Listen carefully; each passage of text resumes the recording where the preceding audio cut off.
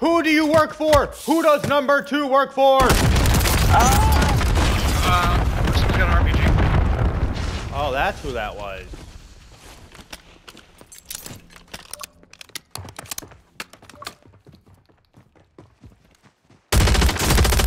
Who does number two work for?